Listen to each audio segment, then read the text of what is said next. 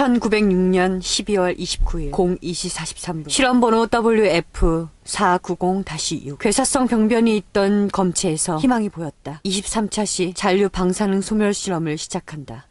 시작.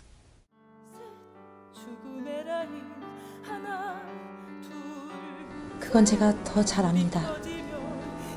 지금 여기 제 몸 안에 가득 차올라 제 목을 조르고 있으니까요.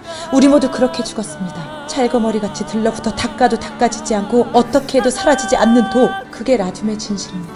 제가 직접 보여드리죠. 라딘 이약품 개발사 일단 중단하셔야 돼요. 확실하진 않지만 틀림없이 라딘에 문제가 있습니다. 사람도 아는 위해성 때문에 모든 걸 멈춰라. 지금까지 투자한 금전적 피해는 자네가 책임지는 건가? 사람이 죽고 사는 문제예요.